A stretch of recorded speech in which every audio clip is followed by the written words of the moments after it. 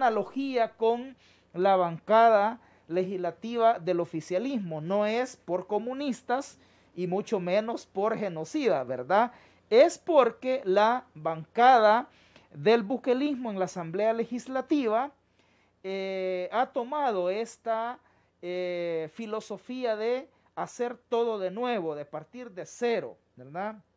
Eh, en esta lógica es que varias comisiones de la Asamblea Legislativa, entre ellas la Comisión de Medio Ambiente y Cambio Climático, la Comisión de Economía, la Comisión Financiera, entre otras, han desechado importantes proyectos de ley.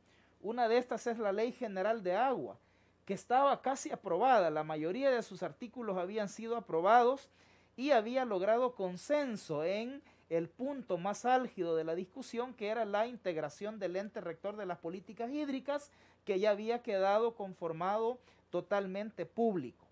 Se fue al carajo esa ley por voluntad de el oficialismo en la Asamblea Legislativa. También esta comisión desechó la ley de soberanía alimentaria y la de prohibición de agrotóxicos. Otras comisiones, ya decíamos, también enviaron al archivo normativas importantes como la ley de identidad de género, diversas iniciativas relacionadas con beneficios para los consumidores, apoyo a la microempresa, derechos de la población LGTBI. Si la bancada oficialista continúa con esta lógica, es posible que en los próximos días sean enviados al archivo los proyectos de ley de protección a periodistas, de defensores y defensores de derechos humanos, de reconciliación nacional, así como propuestas de reformas para despenalizar el aborto, combatir la evasión tributaria, entre otros. Concluimos en nuestro editorial que más que una perspectiva real de abordar estructuralmente y radicalmente las problemáticas del país, esta es una estrategia propagandística dictada desde Casa Presidencial probablemente sugerida por los opositores venezolanos que asesoran al presidente Bukele en sus estrategias políticas y de comunicación. Ese es nuestro editorial que ustedes lo pueden revisar en nuestra página web y redes sociales. Vamos a ir hoy a los comentarios con Norma Ramírez, a ver qué nos comenta. Buenas noches, Norma, ¿cómo estás? ¿Qué tal, Leonel? Muy bien, muchas gracias, ¿cómo estás? Bien, bien, listo aquí para escuchar los comentarios de la gente que nos sigue. Bien, en el sondeo que planteamos esta semana, eh, pues les proponíamos como tema para la discusión, distintas comisiones de la Asamblea Legislativa enviaron al archivo propuestas de ley y de reformas que se encontraban pendientes, entre ellas la Ley General de Aguas, con el argumento de iniciar desde cero el debate. ¿Qué opina de la decisión? Eso les preguntamos. En Twitter, el 47% dijo que no está de acuerdo con esta decisión de las y los legisladores y el 53% dijo que sí está de acuerdo. Algunos comentarios en Facebook que también queremos compartir. Dice Miriam Rodríguez, deberían haber revisado las propuestas y así aprovechar el tiempo en avanzar para su aprobación. Si de verdad quieren beneficiar a la población, es increíble que vengan a descalificar el esfuerzo de todas las personas que han trabajado en los anteproyectos. Alcides Molina dice les queda tres años para hacer las mega obras que prometió el presidente. De lo contrario, todo será pura verborrea, corrupción y saqueo al Estado. Vilma Barba dice qué le pasó a esta señora preguntando por la actitud de la presidenta de la Comisión de Medio Ambiente, Sandra Martínez, bastante desubicada, dice Vilma. Y Ana María comenta también respecto a la presidenta también que me caía esta señora antes de venderse, refiriéndose siempre a la presidenta de la Comisión de Medio Ambiente. Son las participaciones que tenemos. Muchas gracias amigos y amigas por ser parte de este análisis y recuerden que a lo largo del programa también pueden dejar sus comentarios, hacer sus preguntas y ser parte de esta construcción de análisis crítico de la realidad nacional. ¿Qué te parece, Lionel? Gracias, Norma. Bueno, coincidente con la perspectiva crítica de nuestro editorial, ¿verdad? Eh, esas iniciativas, muchas habían sido presentadas por organizaciones comunitarias, por ONGs, por instituciones que habían trabajado, habían hecho esfuerzos importantes para presentar esas propuestas y han sido desechadas por el oficialismo en la Asamblea que en su estrategia de querer desvincularse de, del pasado y con el argumento de hacer todo de nuevo, pues ha desechado importantes iniciativas. Es una lástima, ojalá las organizaciones sociales se apresuren nuevamente a presentar propuestas. Bueno, vamos a las efemérides, vamos a comentar dos eh, conmemoraciones importantes. La primera es el 41 aniversario de la masacre de El Zumpul en Chalatenango. El 16 de mayo de 1980 fueron masacradas unas 600 personas por el ejército salvadoreño en complicidad con el eh, ejército de Honduras. Este crimen de lesa humanidad está impune. Hay demandas, pero no se registran avances como sí, por ejemplo, en el caso del Mozote, donde a pesar de las dificultades, a pesar de que el gobierno ha negado el acceso a los archivos militares, a pesar de que la fiscalía últimamente ha venido torpedeando al juez Jorge Guzmán, ha logrado avanzar en ese juicio histórico en el departamento de Morazán. Tenemos aquí a Miriam Ayala de una de las organizaciones eh, que eh, organizaron la conmemoración del el 41 aniversario de la masacre del Zumpul. Estamos esperando hace 41 años. Estamos haciendo gestiones a la Fiscalía, este, al presidente de la República para que eh, dé esos archivos eh, que hay donde están las gentes involucradas en, en, estos hechos de la masacre. Entonces, pero no, no hay voluntad para acceder a esos documentos. Y también queremos que, eh, se, que se conozca la verdad, ¿verdad? Y que se haga justicia. Eso, mm, bueno, han pasado 41 años, pero seguimos luchando, no nos vamos a cansar. Muchos sobrevivientes se han muerto con esa esperanza de conocer la verdad, de que haya justicia, y se han ido con sus historias. Este, es lamentable eso. Yo decirle que como Miriam Ayala, como miembro de la asociación, todos los compañeros que estamos allí, compañeras, estamos dispuestos a llegar hasta las últimas consecuencias de nuestra vida para llegar, digamos, a, que estos hechos se esclarezcan y que haya justicia.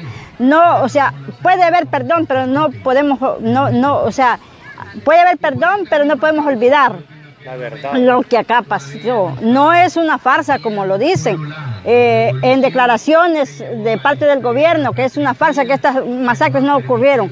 Es una, es una ofensa para las víctimas que digan que es una farsa. Estos acontecimientos se dieron y por eso están. Mire qué bonita la cantidad de gente que ha participado hoy y lo vamos a seguir manteniendo.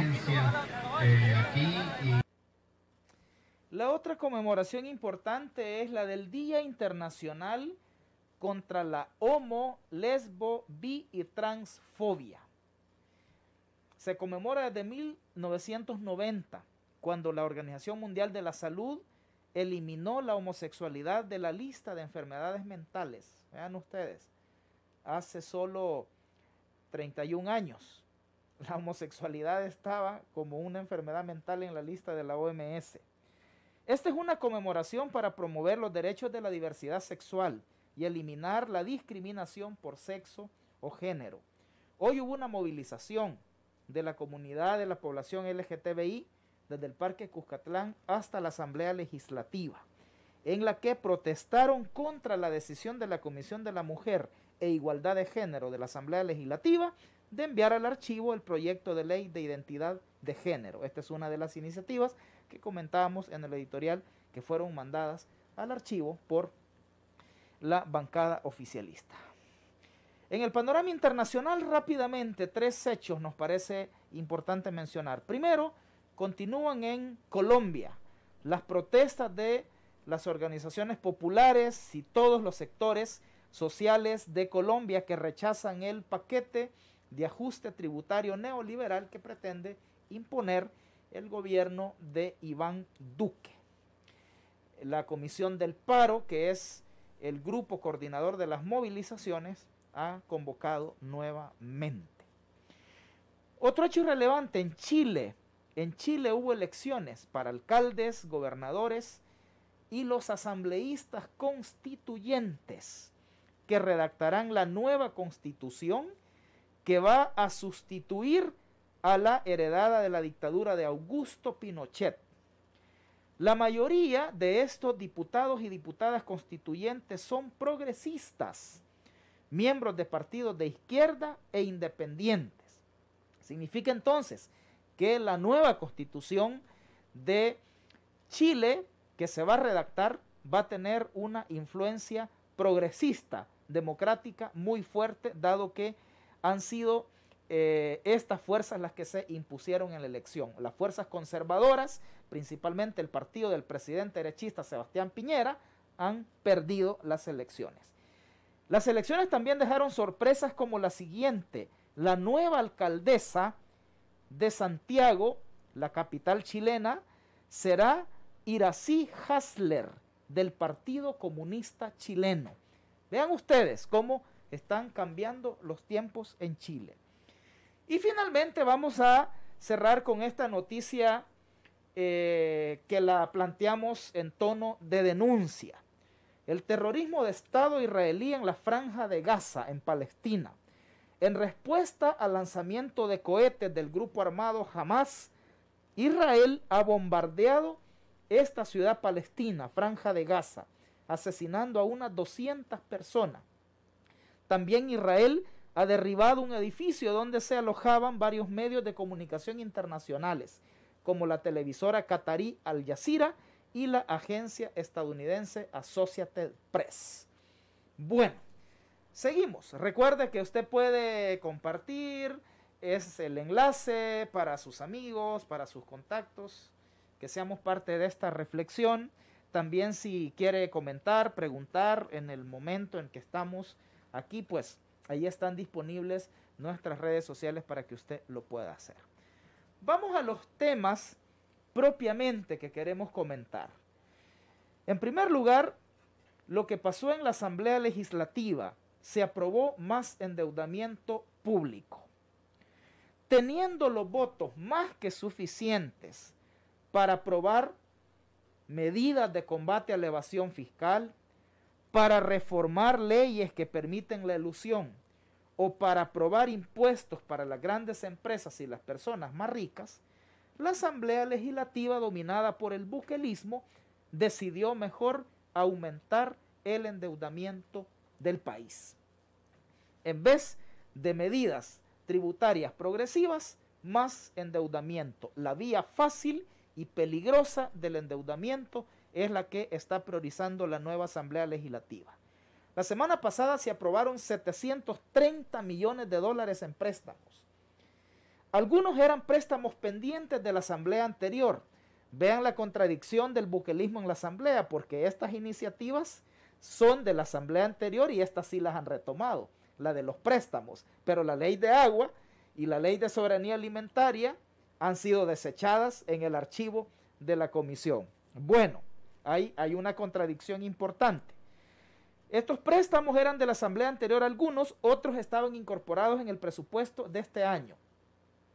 La aprobación de más deuda contó con los votos de Arena. Arena cuando son medidas que no afecten a los grupos de poder económico a los cuales representan, no va a tener ningún problema en sumar sus votos a nuevas ideas. Incluso el FMLN apoyó cuatro préstamos que suman 330 millones de dólares.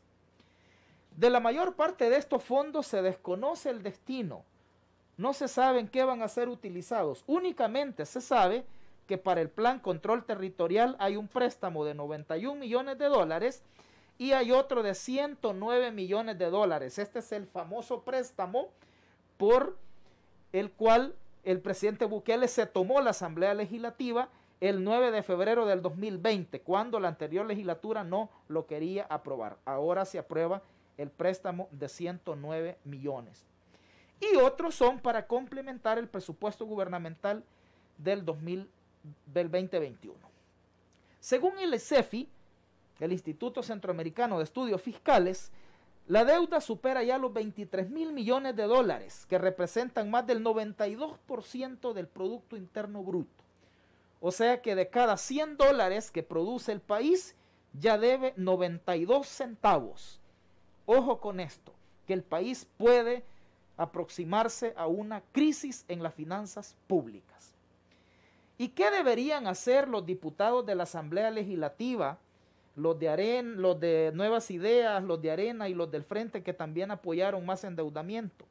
¿Qué deberían hacer en vez de aprobar más deuda? Bueno, aprueben medidas para cerrarle los portillos legales a la evasión, que ronda entre 1.500 y 2.000 millones de dólares según la UCA y según Oxfam. ¿Qué más podrían hacer? Eliminar las exenciones tributarias injustificadas a las grandes empresas que están, que están contenidas en leyes como la de turismo, de zonas francas, de inversiones, de servicios internacionales, entre otras. O podrían grabar el patrimonio de los más ricos. Esos 160 millonarios que dice Oxfam que acaparan 21 mil millones de dólares, equivalentes al 87% del Producto Interno Bruto. A esos son los que hay que ir a grabar. O poner impuestos directos a la gran ganancia empresarial, a las grandes transferencias financieras y a los bienes y servicios de lujo. Hay alternativas al endeudamiento, señores y señoras diputados. Bueno, la ley a la vi es el otro tema que dio mucho que hablar esta semana. Esta famosa ley que se aprobó para saltarse los procedimientos del ALACAP en las compras gubernamentales durante la pandemia. La ley también impide que se investiguen los posibles casos de corrupción de mal manejo de fondos públicos durante la pandemia que ya venía investigando la Fiscalía y las ICIES. Esta ley a la vi también impide que personas afectadas por mala praxis médica o por aplicación de medicamentos pueda demandar, pueda reclamar a las empresas o a las instituciones. Inclusive esta ley tiene un artículo donde plantea la posibilidad, el artículo 8, plantea la posibilidad que las empresas privadas embarguen bienes públicos administrados por el Estado. Dice que las instituciones públicas podrían renunciar a la inembargabilidad, ¿verdad? Que tienen. O sea que los bienes públicos no se pueden embargar, pero en la ley el Estado renuncia a ese principio. Esto es gravísimo. Significa entonces que podrían embargarse bienes públicos por parte de empresas. Por esa razón, el Foro Nacional de la Salud, la Alianza contra la Privatización del Agua y la Coordinadora Salvadoreña de Movimientos Populares denunciaron que la ley fomenta la corrupción atenta contra el derecho a la salud de la gente y plantea la posibilidad que las instituciones renuncien al principio de inembargabilidad de los bienes públicos. Tercer tema que dio a hablar mucho esta semana. Vamos a revisar. Fue la reunión del enviado especial del gobierno estadounidense para el Triángulo Norte Centroamericano, Guatemala, Honduras y El Salvador, con el presidente Bukele. Zúñiga se reunió con diferentes representantes de sectores y de instituciones del Estado salvadoreño, habló con empresarios, habló con gente de la sociedad civil, fue a la Asamblea Legislativa a reunirse con el presidente de la Asamblea y desde luego se reunió con el presidente Nayib Bukele. No se sabe qué acuerdos tomaron, solo se sabe, el representante estadounidense, porque lo dijo en una conferencia de prensa, reiteró las críticas de su gobierno a lo actuado por el oficialismo el primero de mayo de este año, es decir, la destitución de los magistrados de la Sala de lo Constitucional y el fiscal general de la República. La Secretaría de Prensa de la Presidencia hizo algo extraño, subió un comunicado que al ratito lo habían bajado. En el comunicado decía que las relaciones de Estados Unidos y El Salvador eh, marchaban súper bien, era falso, lógicamente mentía el comunicado, probablemente la Embajada de Estados Unidos reclamó y lo bajó el secretario de prensa de la presidencia. Bukele publicó este tweet. Vean, la respuesta de Bukele después de reunirse con Zúñiga fue publicar este tweet, donde dice los cambios son irreversibles. O sea, le quiso decir al representante del gobierno estadounidense, señor, no voy a revertir lo que han hecho mis diputados en la Asamblea Legislativa. Bueno, y esto ya está teniendo consecuencias. y consecuencias que pueden ser graves para el país. Para quienes ven eh, con beneplácito, para quienes ven desde una perspectiva pseudo antiimperialista, eh, como positivo este jaloneo del el presidente Bukele con Estados Unidos, van a ver ahora las consecuencias de esto. Em, ya hoy, esta tarde, se publicó una lista del Departamento de Estado enviado a la oficina de la congresista Norma Torres, que señala a conocidos funcionarios y políticos salvadoreños de haber participado en actos de corrupción. Adivinen quién encabeza la lista. Carolina Recinos, jefa del gabinete del presidente Bukele. Adivinen quién sigue en la lista. José Luis Merino, dirigente del FMLN, vinculado a las empresas Alba Petróleos y que, según informaciones periodísticas tras bambalinas, apoya al presidente Bukele. ¿Quién sigue en la lista? Rogelio Rivas, ex ministro de Seguridad del presidente Bukele. ¿Quién sigue en la lista? Guillermo Gallegos, diputado del partido Gana un entusiasta aliado del presidente Bukele.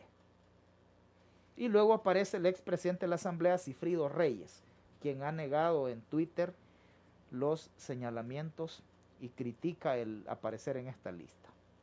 Vamos a ver qué dicen los otros mencionados. Pero eso no es lo más grave en términos de consecuencias.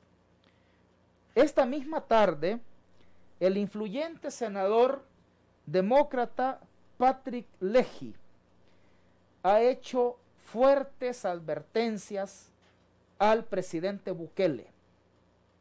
Fuertes advertencias al presidente Bukele. Después de hacer un recorrido, este legislador, sobre la historia salvadoreña relacionada con Estados Unidos en las últimas décadas, Dice al final de la declaración, El Salvador es un país soberano y el presidente Bukele fue elegido democráticamente. Él toma sus propias decisiones, pero las decisiones que toma él y sus aliados en el Congreso salvadoreño, perdón, que están, dice, destripando las instituciones civiles democráticas del Salvador y empoderando a las Fuerzas Armadas, tiene consecuencias para las relaciones con Estados Unidos y El Salvador. Tiene consecuencias para nuestros programas de ayuda y para nuestro apoyo al financiamiento para El Salvador del Fondo Monetario Internacional, del Banco Interamericano de Desarrollo y el Banco Mundial. Y para nuestras relaciones comerciales y para visas, dice. ¿Mm? Está advirtiendo el senador Leji que de no cambiar el comportamiento del presidente Bukele, Estados Unidos podría afectar a nuestro país bloqueando financiamiento para El Salvador. Recuerden ustedes que en este momento el gobierno está negociando un préstamo de 1.300 millones de dólares con el Fondo Monetario Internacional. Préstamo para pagar otros préstamos, deuda para pagar deuda. Y Estados Unidos le está advirtiendo. Por eso decíamos, para quienes ven con agrado, les gusta, eh, se sienten patriotas, se sienten antiimperialistas al ver a Bukele peleándose con Estados Unidos. Bueno, miren esto. Dice el senador Leji, no se trata de soberanía nacional e interferencia extranjera, como ha sugerido falsamente el presidente Bukele. Sus acciones afectan directamente a Estados Unidos, las empresas estadounidenses, nuestras relaciones comerciales y el bienestar de millones de salvadoreños en Estados Unidos, así como a la población salvadoreña. Me uno, dice el senador Leji, a otros aquí y en El Salvador para instar al presidente Bukele y al Congreso salvadoreño a que reconsideren sus acciones inconstitucionales y restablezcan la separación de poderes y el Estado de Derecho. No destruyan el mayor logro de los acuerdos de paz. Poner fin a los ataques al Estado de Derecho. respetar el mandato de los demás magistrados y de la Procuraduría de Derechos Humanos, nombrar a los magistrados de la Sala de lo Constitucional y al Procurador General siguiendo los procedimientos establecidos y velando por que sean personas con las calificaciones profesionales necesarias, con integridad y con independencia. Eso dice el senador Leji, que es un funcionario muy influyente en las decisiones relacionadas con otorgar financiamientos a los gobiernos centroamericanos. Él es miembro de la comisión que aprueba los financiamientos para los gobiernos. Ahí hay una advertencia. Ojo porque nuestro país puede empezar a tener graves consecuencias gracias al comportamiento de un presidente que no ha logrado establecer una relación cordial y respetuosa. No se trata de someterse a Estados Unidos, ni se trata de pelearse con Estados Unidos. Se trata de mantener una relación cordial y de respeto, teniendo en cuenta que en Estados Unidos vive una tercera parte de la población salvadoreña, teniendo en cuenta que las remesas que vienen de Estados Unidos sostienen esta maltrecha economía del país, teniendo en cuenta que el mercado estadounidense es el destino de la mayor parte de las exportaciones del país y es el lugar de origen también de las importaciones que vienen al Salvador. Tenemos una economía dolarizada también. Es decir, hay muchísimas razones para que nuestro país mantenga una relación cordial y de respeto. No se trata de someterse ni se trata de confrontar relaciones de respeto. Ojalá el presidente Bukele revise sus actuaciones y mida las consecuencias que el país puede tener en caso de no cambiar esta relación que ha mantenido hasta hoy con los Estados Unidos. Bueno, esa es información fresca de hoy. Vamos a continuarla analizando. Les agradecemos por haber estado ahí. Muchas gracias. Sigamos debatiendo y nos encontramos el próximo lunes a las 7.30 de la noche.